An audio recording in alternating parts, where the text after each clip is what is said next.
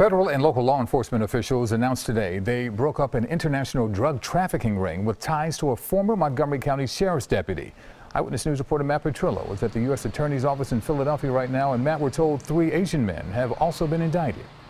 That's right. Authorities tell us that three Chinese nationals shipped drugs all across the United States using a man from Norristown.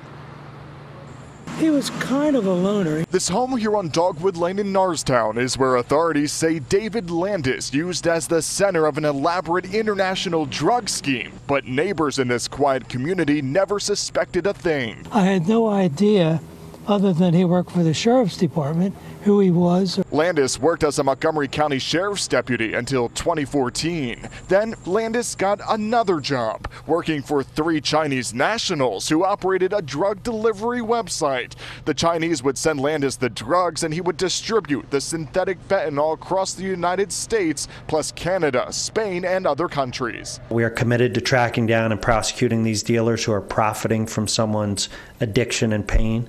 Landis pled guilty for his role and is expected to serve a minimum of 20 years in prison after five people died from drug overdoses. But authorities admit the three Chinese men behind the website will likely never face prosecution in the United States. But if the Chinese government wanted to stop illicit fentanyl production, if they cared about that, they could do it. For your office to, to charge those three Chinese men, did they have to come to the United States?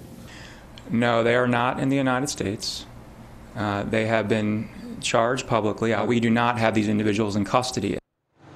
And so while those three Chinese nationals won't probably face prosecution here in the United States, they are facing some consequences.